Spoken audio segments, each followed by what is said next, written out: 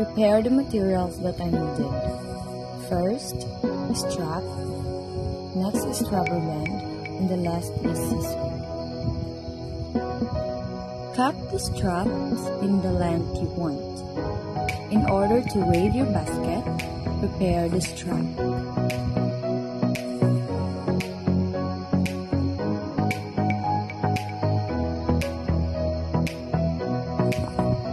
Weave your basket's foundation.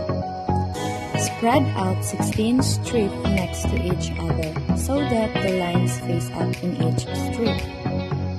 Wave another strip through the strip you have spread out, beginning at the top side over one strip and under the next.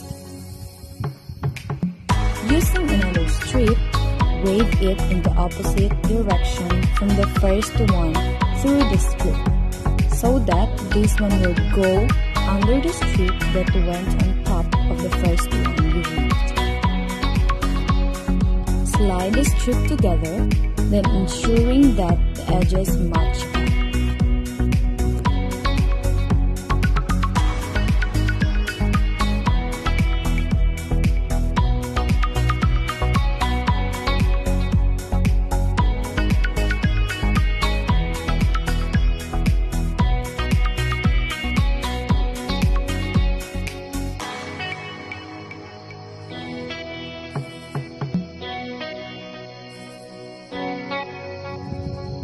Using the rubber band, tie up the edge of the strip.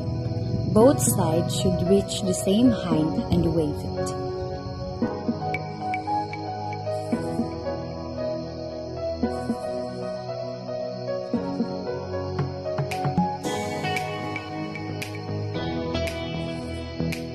Now, wave the same with the base on the other side.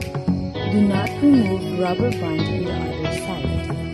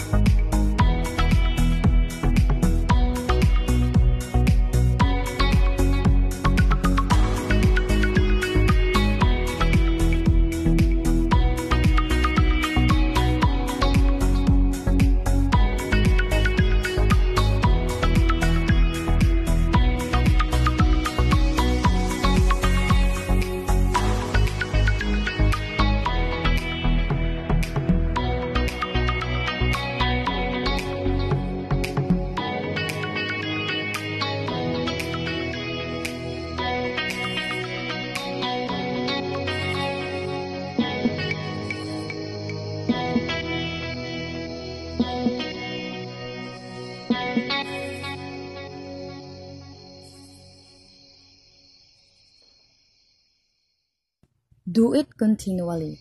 Strip next to another strip until it becomes a basket. Fold the edge of the basket in order to lock it.